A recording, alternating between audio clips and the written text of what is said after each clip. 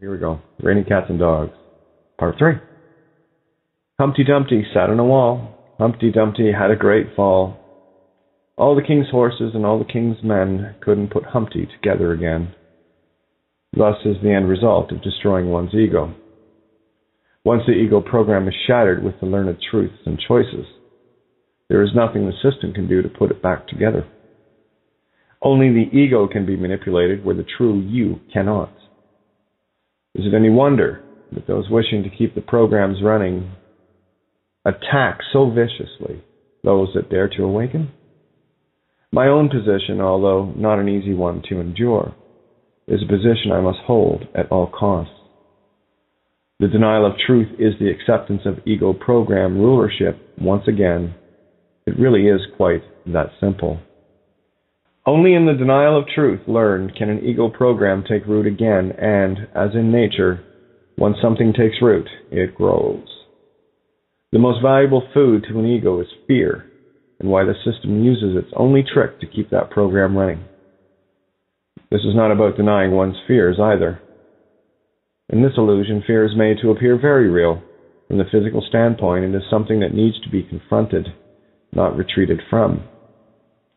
In my own journey, fear has played a major role in, that sh- in the shaping of who and what I am today, with some minor fear issues still being confronted in my own version of baby steps. I am no different than anyone else in this regard. I merely have my own shadows to deal with where you have yours. The Humpty rhyme is just another example of little allegories staring us in the face, and only with new eyes and perspectives can we even begin to start seeing them. This reality is based on fixations to keep people spellbound on all three levels of mind, body, and spirit. I'd say they're doing a grand job in that effort, no?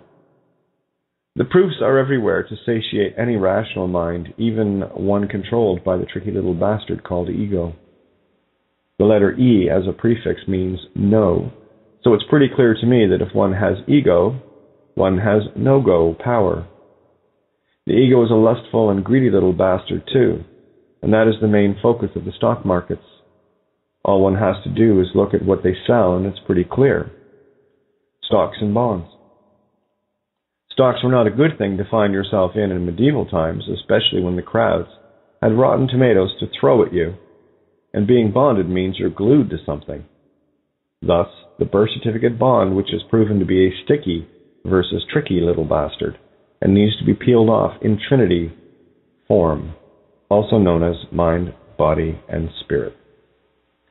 If we remain in one and two dimensional thinking, we'll never get 3D on this level, and most people are fixated on mind and body only, where spirit is not a concept that the masses can truly grasp.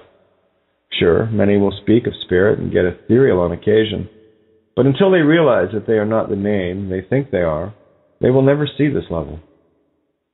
Seriously, can anyone even think of setting their spirit, their true self free if they're still quagmired in the mind and body illusion? The straw man, tin man, and cowardly lion are the allegories of mind, body, and spirit, and the last thing to conquer before you can be Dorothy or Dorotheos, God, in toto genre, full character, is your fear. To an infinite being, fear is the grandest illusion of them all. I'd love for someone to explain to me exactly what an infinite immortal consciousness has to fear from anything. Fear is the only thing that can offer you a sense of actually living and why it must be experienced at all. It comes in infinite forms and quantities depending on what you need to experience. Fear is only there to be overcome, and that, for me, is the truest test of all, and the only challenge in existence we have. One must not loathe fear nor love it. Merely find the zero point within self, where it is balanced and where you can baby step from. That's why pilots begin to learn to fly in small single engine aircraft versus sitting behind the stick of a jumbo jet with 500 passengers. It is about what responsibility one can handle that masters all fears. In seeking the truth, you have accepted a greater responsibility in creation, and, of course, fear walks lockstep with responsibility. If one seeks a higher meaning of truth, then one must also accept the responsibility of what that knowledge offers. It would be pointless to say that one is seeking the truths of this reality, find them, then just as quickly deny them, because there is some fear attached to it. Here's the catch 22, however, in that you're damned if you do and damned if you don't. By attaining a higher understanding and stepping into it, you become a blip on the spiritual radar, you have entered no man's land or the neutral zone. I like to use the Rubicon allegory here inasmuch as once you've chosen to cross the Rubicon River, you are making it clear that you are marching on Rome with no turning back. The very notion of turning back is repulsive to me, but then I made my choice a little more absolute than most could stomach. The good news is they don't they don't have to, but it must be made abundantly clear that once you find the truth and realize the ramifications of that knowledge, one now has the responsibility to stand in that knowledge at all costs or succumb to the ego and retreat. I already mentioned the catch 22, so if you can't handle the heat, stop seeking the fires. If you seek to save yourself, and only you can where truth will set you free, there is a greater responsibility to be accepted. If you feel you can't handle the responsibilities of being truly free by seeking the truth, stop reading and listening now.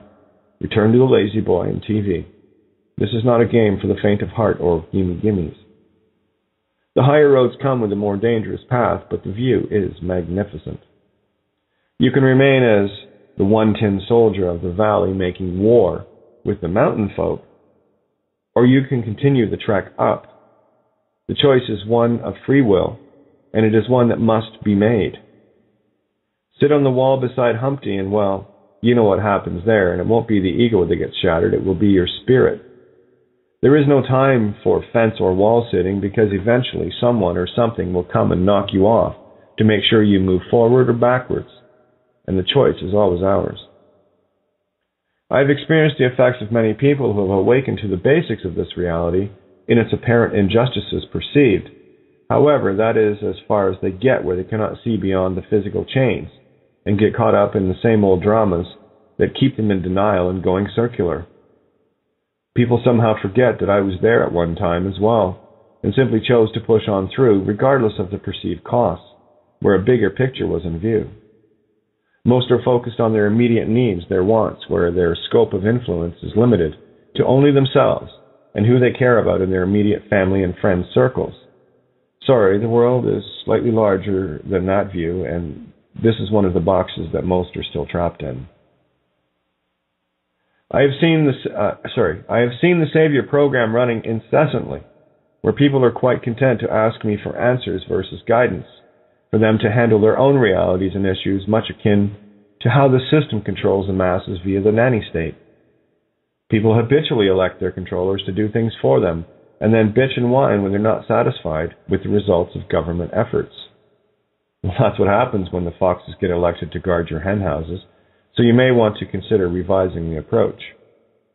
Unfortunately, in that revision, one must begin to take full responsibility for their own lives and slowly spiral out to guide others to do the same. I have also written countless papers, documents, essays, and articles outlining my own experiences and put them into easy to understand form, but most will never see it because their excuse me, their asses are still parked beside Humpty's. I believe the expression is shit or get off the pot as I recall it from my youth. I have lost count the number of people who showed up at my door to get something from me that they wanted and needed. The trouble is, what they wanted and needed was for me to take, uh, for me to make all their troubles go away with what I was able to write and do. But they forgot the one thing most important to understand. It wasn't enough for a document to be written for someone, it had to be fully grasped by the one who received it. Most times, people don't want to read the fine print or the large print even. They were only concerned with making things right in their world, the rest be damned. Sorry, responsibility doesn't work that way. The biggest difference between me and most people is that I've made far more mistakes than they have, and, as a result, gained more knowledge from my experiential mirror because I chose to do something on my own, no nanny required.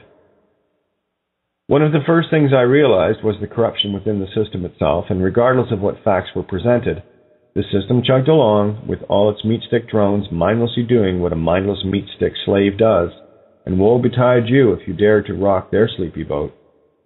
I also got to witness and be part of many things that saw the system's cracks, where I was not only able to peer into them allegorically, but I was also able to insert a wedge to open it up even more. One of the larger clues was the judge of their system, a high priest, if you will, bowed to me where later others had only fear in their eyes, knowing that I knew what they were doing and was calling them out on excuse me, was calling them out on it to their lying faces. I've had many articles, reports, and even TV shots where defaming myself and the truths uncovered to try and keep a lid on Pandora's box, but unfortunately for them, the genie is out of the allegorical bottle. I see the system ramp up its efforts of fear porn in a vain attempt to outflank the destruction of their reality, but that's not working anymore either, where all I can do is laugh. I have seen where myself and others have literally changed the world reality in key efforts being injected like a virus into the crumbling machine and empiric illusions. I see many still focusing on the illusions shown to them for them to power it up with their own infantile intentions, rubbernecking the false flags, chemtrails, GMO foods, etc., without realizing that these illusions are kept in place and effect by the constant staring I have met too many experts in too many fields to count who are busy staring at what is happening, but never asking why, on more than the obvious levels. We're dealing with entities that have been master of this particular game for too long, and we're not going to solve it by doing the same things we have done for countless millennia. No, in order to stop traveling in circles, we must jump the tracks from this crazy train we're riding on and get drastically original in our thinking and more importantly, our responsi- uh, responsibility. Do not expect anything to change in your reality unless you change your operating basis. The most critical thing for me was my choice to stand in truths found regardless of the cost. One must choose meat stick reality or divine spiritual reality. That is the real catch 22. If one seeks to play in the Whore of Babylon game with your mark of the beast name, then your spirit, mind, and body are owned and will be recycled until you finally choose the only thing that can set you free truth. If you choose a spiritual path, well, then you can expect things to get a little difficult on the physical planes because you're defragging their program, and your would be masters don't like that. The catch 22 is that whichever path you choose, one or the other is damned. Damned if you do, damned if you don't. I simply chose infinity. Here's the magic of choosing your own aspect of consciousness, in that weird and wacky things start to happen. Once you choose to stand in the truth, universe steps in, but one must take the real leap of faith, and that is trust in yourself and your own intuitive heart. People talk about changing this and changing that, but all I usually see are people trying to use the constructs that have them trapped in the first place. That is quite simply insane as far as I can tell and observe it. If your car engine starter stops working and it doesn't start after a smack with a hammer, it won't matter how many times you hit it until you know where and how to hit it. Most will simply end up destroying it and weary themselves in the process. One cannot expect an abundance of money to solve their problems when it's the money that is the problem in the first place. Money creates separation, where those in control of it control those without it and the longer that concept is embedded, the longer our spirits are enslaved. I have outlined the ethereal trap of what money truly is, where the very essence of consciousness is, by our consent, trapped in it via the register or regis stir. For more information on that, please read a couple of other essays I've written and outlined the spirit traps that have been uncovered. Those essays are called The Long and Short of It I Who Shall Not Be Named. Also, it is not easy to convey these concepts because I deal mostly in what is hidden from view. So it's not easy for people to accept things that they have not known for a very long time, and that is, their very divine being. I've endured much doubt and second guessing myself for much of my life, but as I see things unfold in the physical as it mirrors the spiritual, my doubts get fewer every day. And such is the nature of my own walk. Most, if not all things I talk about, come from an ethereal perspective, where I only see the physical realm as the effect of my own causation. This concept takes a bit of practice, but just like learning to play an instrument, they, like truth, have to have time spent with to make them your friend. I often told people I was teaching guitar to to not expect a guitar to be your friend if you won't talk to it. Such is the nature of the universe. Many of us have a lot of garbage to sort through, where we have had lifetimes full of programs and indoctrinations to purge from our personal hard drives, or to clear the RAM of Aries in order to allow our own self installed programs to run properly. This is where fear comes into play in a major way. It is incredibly difficult to let go of everything we ever thought of as real, but once you realize that it was someone else painting your reality, it wasn't even yours to begin with. In short, you're holding on to someone else's illusions and making them your own. I like to refer to this as defragging the Savior program. All one needs to do is ask oneself if the choice they are making is based on their experience or is it based on something that came from tradition, culture, religion, school, society, etc.? These are all divide and conquer tactics to keep people looking outside of themselves for an answer or something to blame for their woes. I've done it. We've all done it. Even what I'm writing here can be misconstrued as the very same thing. However, the intent is a lot different now. I am long wearied helping people only to have them throw knives in my back after they have achieved a slightly better existence than they had before. To them, they have won. Satiated ego survival, where anything further would have more responsibility in it. So they move along. I have had people come to me with gifts that were actually debt obligations in the age old duality program of I gave you something, now you owe me. Woe's betide you if you don't have the answer they want versus the truth they need. That's where you get tossed to the curb and badmouthed accordingly. Until people can move beyond these programs, they are lost, and there is nothing we can or should do. They are physical illusionists seeking physical desires. They want their cake and want to eat it too. They want the miracle externally to satiate the physical comforts, and when your magic wand doesn't work for them, because it can't, you become chopped liver.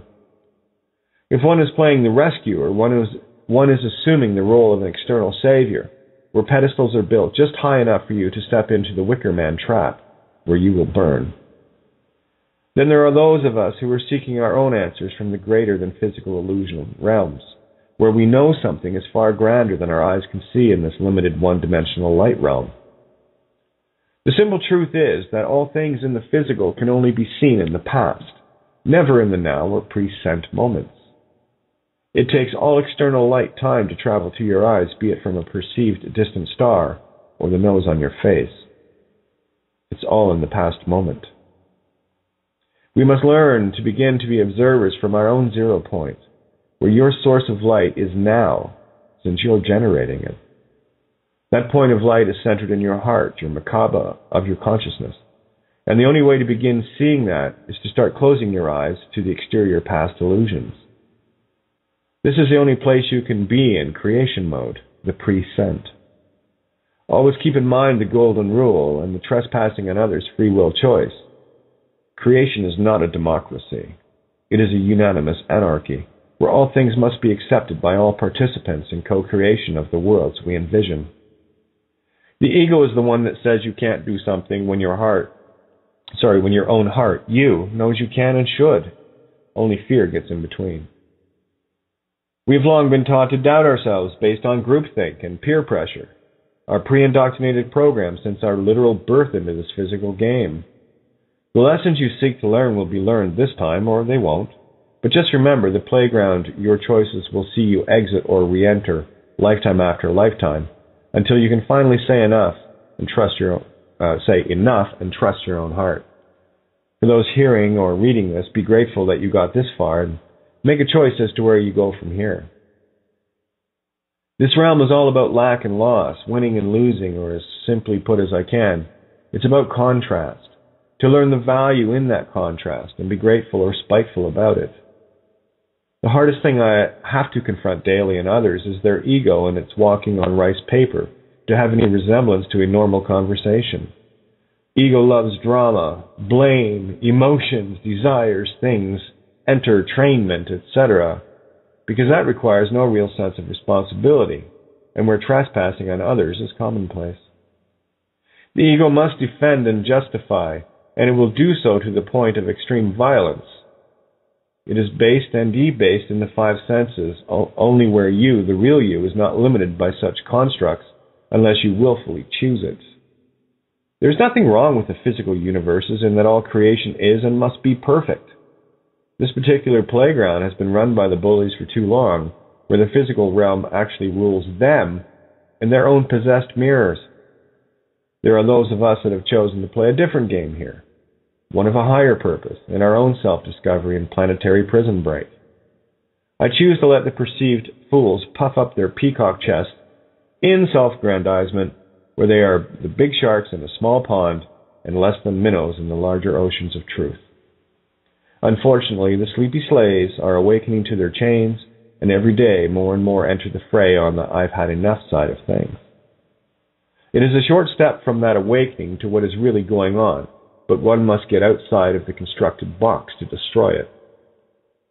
The divided and conquered cats and dogs have been running this asylum for too long, where these are our own aberrations, our own reflections within.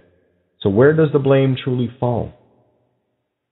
When we hand over our power to external constructs, it will only be the most ego trapped beings that lust for that power. Are these the parts of our consciousness we really want to have determining our reality? Or are we going to finally say enough, let go of the garbage, and pack our collective camels and move forward? The only other choice is the devil we already know, and we've seen what that got us. All of the perceived ancient teachers have been telling us the same thing where the truths were distorted due to our own believing in what some ego driven meatstick told us as we played the infinite game of telephone, where someone altered the message along the line, where some of us are trying to repair it. If one follows and worships the system, those in control of it will choose for you what information you are allowed to receive. So don't be surprised if everything is as um, isn't as you were taught to think it is. One of the saving graces of evil is that it must ultimately destroy itself, since destruction is its modus operandi. I have simply chosen to bring as much of it as I can into the light where the vampires are destroyed by their own false light. In the meantime, be happy with the wars, the desolation, and the wanton destruction of a most beautiful world, all the while missing the most beautiful essence in the universe, the Creator itself, and that is you. It's high time to turn all that creative intention inwards instead of reinforcing the external illusions that have us all trapped. If you're staring at the physical illusions, you will miss the greatest show in the universe.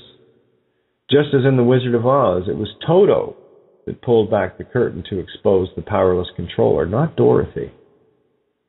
You have to be in your full character to see past the apocalypse to find the door of Theos, the door to your divine self. This yellow brick road we each have to walk in our own way will take you to the Emerald City and beyond.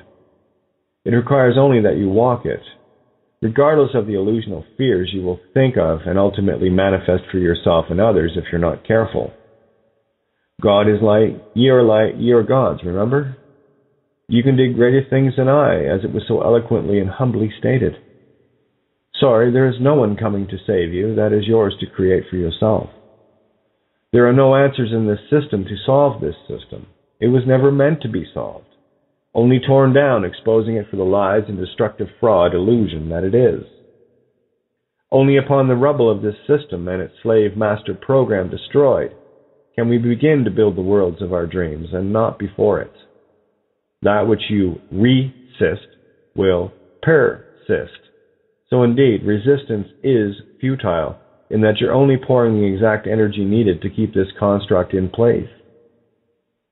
I choose to rubberneck the truth and keep my eyes on the prize, as it were, versus constantly powering up the very things that have kept all of us enslaved and worshipping this false idol that keeps the serpent eating its own tail.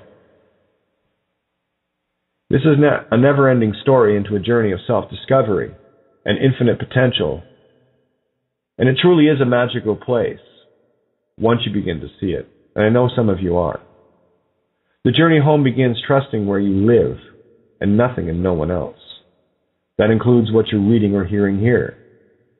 We have too long been ruled by the paintings of reality by others that had it in their best interest to keep you in a perpetual lockdown.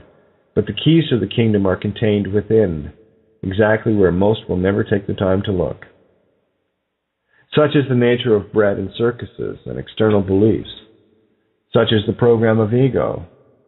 Indeed, Humpty Dumpty sat on a wall from whence he, she, it fell. The only remaining question is exactly who built that wall? That one is for you to answer for yourself, and the only hint I will offer is what I did to answer that. I face both sides of my own mirror, and likely why most cats and dogs growl or hiss when they see their own true reflections for the first time. The camel's Humpty must be Dumpty after all. Imagine that. Was in love. Yours truly.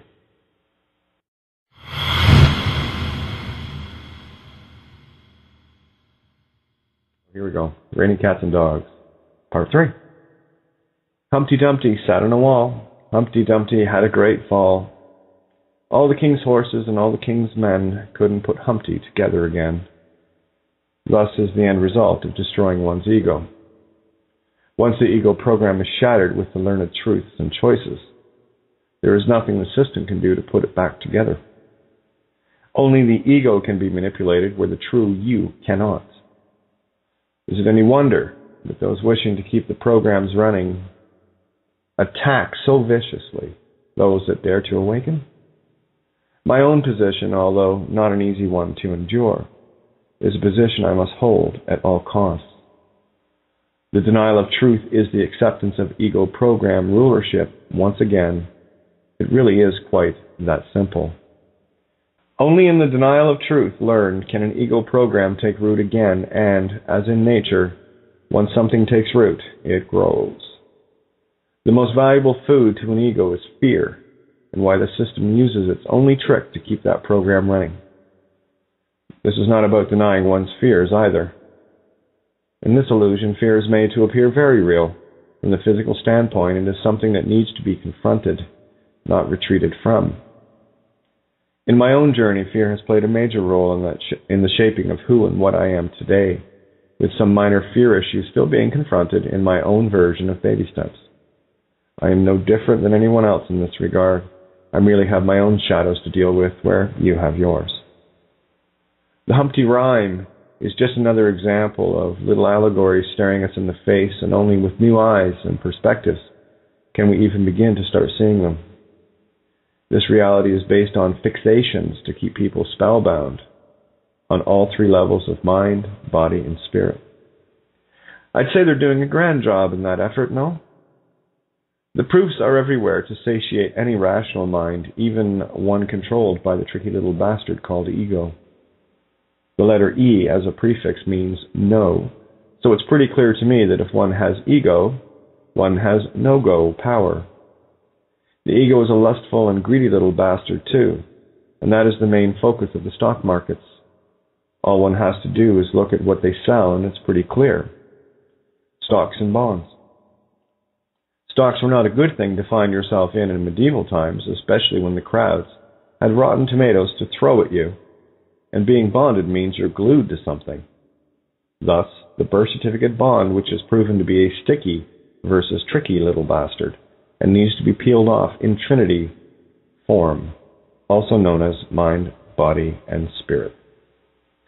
If we remain in one and two dimensional thinking, we'll never get 3D on this level and most people are fixated on mind and body only, where spirit is not a concept that the masses can truly grasp.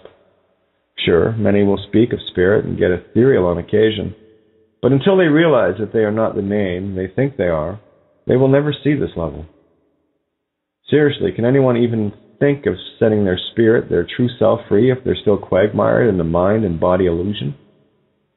The straw man, tin man, and cowardly lion are the allegories of mind, body, and spirit and the last thing to conquer before you can be Dorothy or Dorotheos, God, in toto genre, full character, is your fear.